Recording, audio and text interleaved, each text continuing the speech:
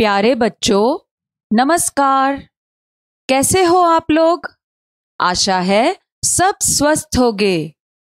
बच्चों, आप सबको शरारत करना अच्छा लगता है? दूसरों को तंग करना अच्छा लगता है क्या? और अगर कोई आपसे शरारत करे, आपको तंग करे, तब कैसा लगता है? जरा याद कीजिए क्या क्या शरारतें करते हैं आप? कभी माँ को परेशान करते होंगे? माँ ने सफ़ाई की और आपने गंद फैला दिया। ज़रूर करते होगे। कई बार मित्रों को भी, जैसे किसी ने गुब्बारा फुलाया और आपने उसे फोड़ दिया। करते हो ऐसे ना? तो बच्चों आज हम जो कहानी पढ़ने वाले हैं, उसमें भी कोई शरारती है। लेकिन आपको जानकर हैरानी होगी कि वह शरारती कौन है। वह है आसमान, जो एक बूढ़ी अम्मा से शरारते करता है। तो आइए पढ़ते हैं आपकी पाठ्य पुस्तक रिमझिम भाग तीन का तीसरा पाठ, चाँद वाली अम्मा। तो ध्यानपूर्वक सुनिए और देखिए कि आसमान क्या क्या शरारतें करता है। बहुत समय पहले की बात है। एक बूढ़ी अम्मा थी। बिल्कुल अकेली। उसका अपना कोई न था। घर का कामकाज उसे खुद ही करना पड़ता था। सुबह उठकर कुएँ से पानी लाना, खाना बनाना आदि। उसके साथ एक परेशानी थी। वह रोज सुबह उठकर जब घर में झाड़ू लगाती, तब तक तो सब ठीक रहता, पर जैसे ही वह आँगन में जाती और झाड़ू लगाने के लिए झुकती, तभी आसमान आकर उसकी कमर से टकराता। अम्मा उसे घूर कर देखती तो वह थोड़ा हट जाता। फिर वह जैसे ही दोबारा झुकती, आसमान फिर अपनी हरकत दोहराता। एक दिन, दो दिन, तीन दिन लगातार यही क्रम चलता रहा। अम्मा झाड़ू लगाए और आसमान उसे तंग करे। एक दिन कुएँ पर पानी भरने को लेकर अम्मा का किसी और से झगड़ा हो गया। अम्मा जरा गुस्से में थी। वह झाड़ू उठाकर आँगन में गई और जैसे ही झुकी, आसमान ने अपनी आदत के अनुसार उसे फिर छेड़ा।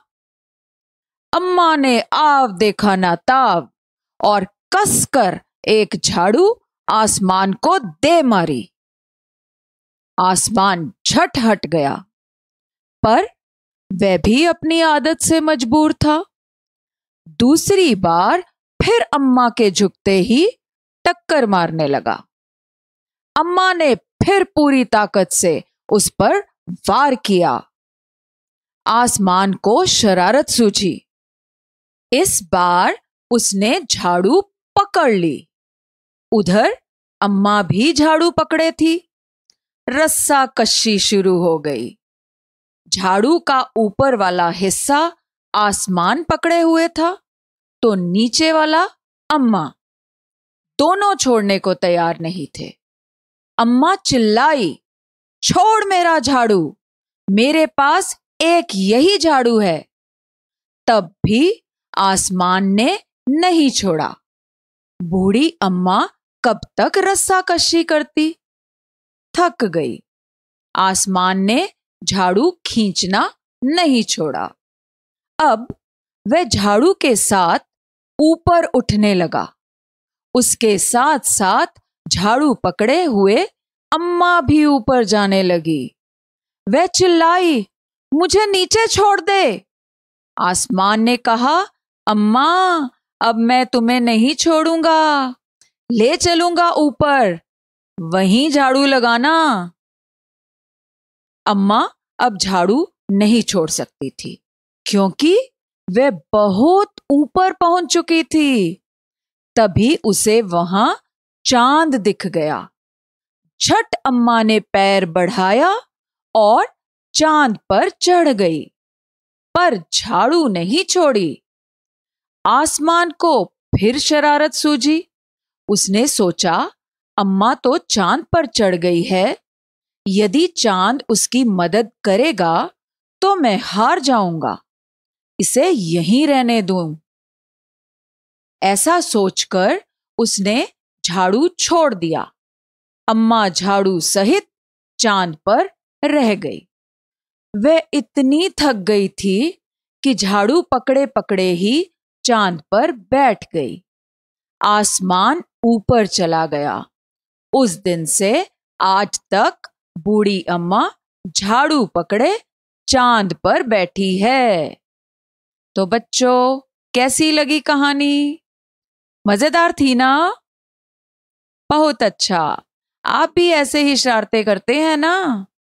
अवश्य करते होंगे। अच्छा चलो देखते हैं आपको कहानी में कितना कुछ समझ आया। अच्छा बताइए कि बूढ़ी अम्मा को चाँद पर कौन लेकर गया था? तारे, आसमान, हवा या इनमें से कोई नहीं? सही उत्तर चुनकर बताइए। उत्तर क्या है बच्चों? आसमान। बिल्कुल सही। अच्छा अब यह बताइए, अम्मा के साथ घर में और कौन कौन रहता था? विकल्प सुनिए। बेटा बेटी, पति, अकेली या पूरा परिवार? उत्तर क्या है बच्चों? अकेली। हाँ अम्मा अकेली रहती थी। अच्छा जरा ये प्रश्न तो देखो।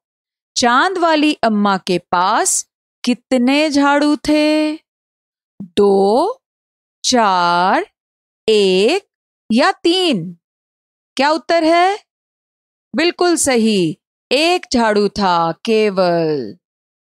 अच्छा बच्चों, अम्मा को आसमान जब ऊपर खींचकर ले गया तो वह कहाँ बैठ गई? बताइए कहाँ बैठी थी? चाँद पर, किसी ग्रह पर, सूरज पर, या इनमें से कोई नहीं? क्या है उत्तर? चाँद पर। ठीक है। अच्छा बताओ, जब बूढ़ी अम्मा आसमान में जा रही थी तो उसने आसमान को मनाने की कोशिश कैसे की? चिल्लाकर, घबराकर, गुस्सा करके, या इन सब तरीकों से? उत्तर क्या है? इन सब तरीकों से। बिल्कुल सही, क्योंकि जब अम्मा ने नीचे से झाड़ू पकड़ी थी और ऊपर से आसमान ने पकड़ी थी तो बेचारी चिल्लाई भी, घबराई भी और गुस्सा भी किया, है ना? अब मैं आपके सामने कुछ शब्द रख रही हूँ। आइए मिलकर इन्हें समझने और वाक्यों में प्रयोग करने की कोशिश करते हैं। पहला शब्द है रस्सा कशी क्या होता है? बच्चों रस्सा कशी एक खेल होता है, जिसमें दो तरफ़ से लोग रस्सी को खींचते हैं। आपने कभी देखा है यह खेल? स्कूल वापस जाओगे ना तो ज़रूर खेलना। बहुत बढ़िया खेल होता है। अच्छा वाक्य बनाइए रस्सा कशी का। रस्सा कशी के खेल में मेरी कक्षा ने दूसरी कक्षा को हरा दिया। हम्म बहुत मज़ेदार खेल है। अगला शब्द देखिए। आसमान। यह तो बहुत आसान है। यह तो आप बना सकते हो। बनाइए वाक्य। आसमान में काले बादल छाए हैं। हाँ जी, कुछ और भी आप बना सकते हो। कई वाक्य बनाइए। अगला देखिए, चिल्लाना। जब मेरे भाई ने मुझे पीटा तो मैं चिल्लाने लगा। आपके साथ भी तो ज़रूर ऐसा कभी होता होगा। अगला शब्द देखिए काम काज वाक्य क्या होगा बच्चों? माँ सारा दिन घर के काम काज में लगी रहती हैं। देखते हो आप भी ना माँ को ऐसे काम करते हुए? हाँ। अगला शब्द है बच्चों, आदत से मजबूर। बनाइए वाक्य। क्या हो सकता है इसका वाक्य? वह शरारत करना छोड़ नहीं सकता, आदत से मजबूर है। क्या मतलब हुआ कि उसे आदत है? आदत पड़ी हुई है, इसलिए वह यह काम बंद नहीं कर सकता। अगला शब्द ही शरारत है। बनाइए वाक्य। मेरा भाई बहुत शरारत करता है तो माँ उसकी पिटाई कर देती हैं। बिल्कुल सही। मदद। मदद का वाक्य बनाओ बच्चों। अपने मित्र की मदद से मैं यह काम कर पाया। मदद करना अच्छी बात होती है। ठीक है ना? अच्छा चलो। आइए, अब रिक्त स्थान भरने का प्रश्न करते हैं। आपको दो में से चुनकर सही शब्द रिक्त स्थान में भरना है। पहला वाक्य देखिए। अम्मा उसे फिर रिक्त स्थान है। देखती तो आसमान थोड़ा हट जाता। रिक्त स्थान में आप क्या भरोगे? घूर कर या गुस्से से? बताइए, क्या है उत्तर? घूर कर। बिल्कुल सही। अगला रिक्त स्थान है आसमान को। रिक्त स्थान सूझी तरकीब या शरारत? उत्तर क्या है बच्चों? शरारत। सही। तीसरा वाक्य देखिए। एक दिन, फिर रिक्त स्थान पर पानी भरने को लेकर अम्मा का किसी और से झगड़ा हो गया। रिक्त स्थान में आपको इन दो में से कोई शब्द भरना है, कुएँ पर या झरने पर। क्या उत्तर है बच्चों? कहाँ गई थी अम्मा? कुएँ पर। सही उत्तर। बच्चों, अगले अभ्यास में अब हम कुछ नया करने की कोशिश करेंगे। अब हम मिलकर कुछ नए वाक्य बनाएँगे। कहानी में जो जो पात्र थे, उन पर कुछ वाक्य बनाइए। पात्र मतलब जिनके बारे में यह कहानी है, जैसे आसमान। कैसा था आसमान? शरारती, ज़िद्दी, ऊँचा, बड़ा, है ना? आप इन शब्दों का प्रयोग करके वाक्य बनाइए। तो आइए शुरू करें। आसमान बहुत ही शरारती था। इतना ज़िद्दी कि मानता ही नहीं था। वैसे तो वह बहुत बड़ा था, पर बच्चों की तरह शरारती था। बहुत ऊँचा और फैला हुआ भी था। तो देखा आपने हम पाठ के आधार पर आसमान के बारे में कितना कुछ लिख पाए? अब अगला कार्य आप स्वयं करेंगे। दूसरा पात्र है अम्मा। कैसी थी अम्मा? बूढ़ी, कमज़ोर, अकेली और लड़ाकू। लड़ाकू थी ना? लड़ाई की थी उसने कुएँ पर। तो अब आप अम्मा के बारे में कुछ वाक्य लिखिए। मुझे आशा है आप यह कार्य अवश्य कर पाओगे। बच्चों, यह अभ्यास कार्य तो हमारा यहाँ पर समाप्त हो गया।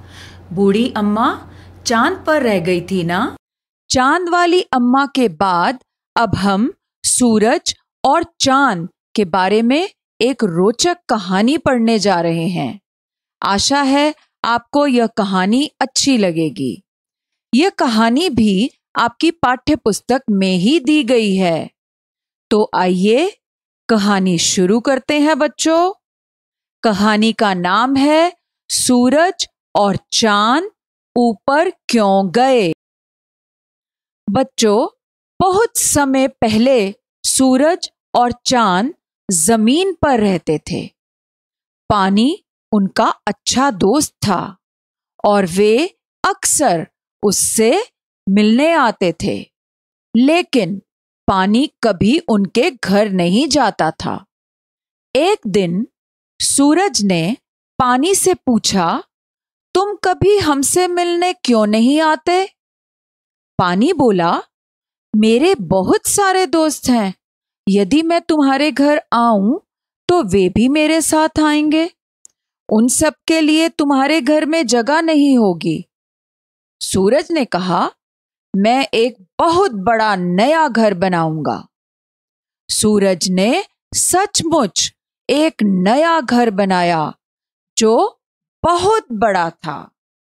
उसने पानी को इस नए घर में बुलाया।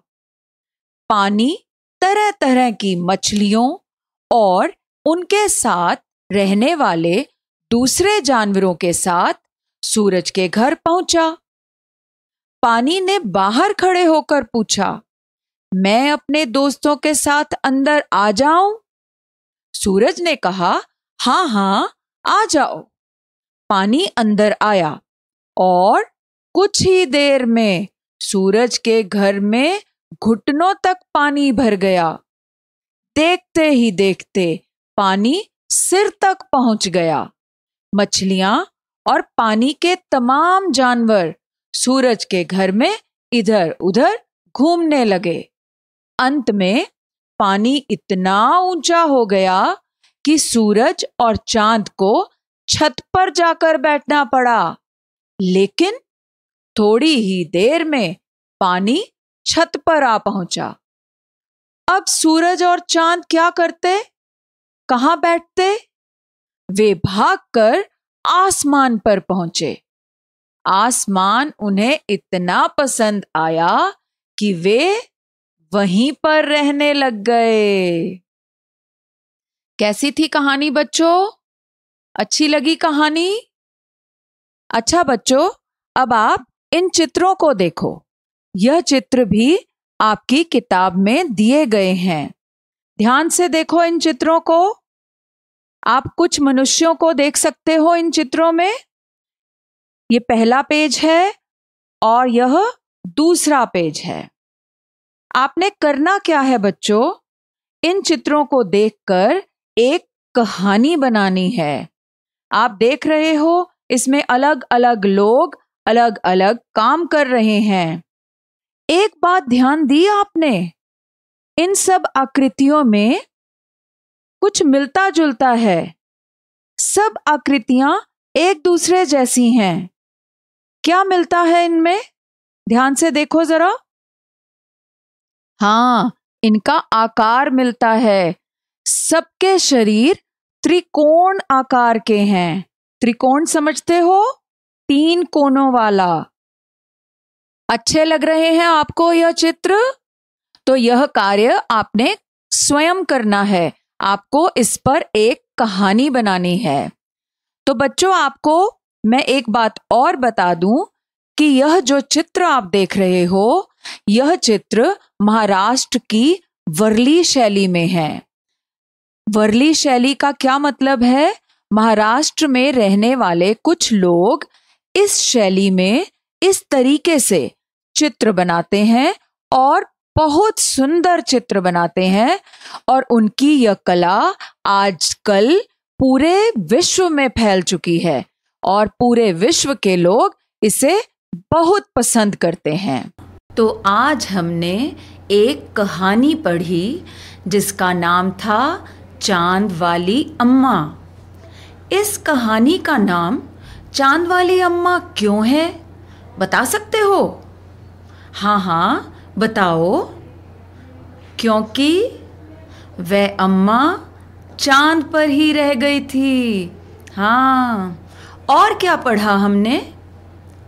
कि कभी कभी आसमान जैसे बड़े भी शरारतें करने लगते हैं। तो बच्चों, क्या दूसरों को तंग करना अच्छी बात है या बुरी? थोड़ी बहुत शरारत तो ठीक है, पर किसी को ज़्यादा तंग करें तो वह परेशान हो सकता है।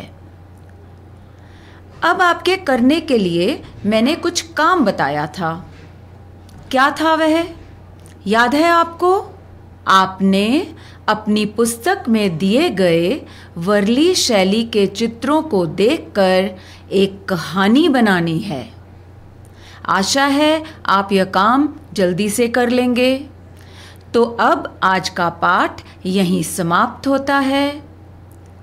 खुश रहिए, स्वस्थ रहिए और खूब अच्छे से पढ़ाई करिए। नमस्कार बच्चों।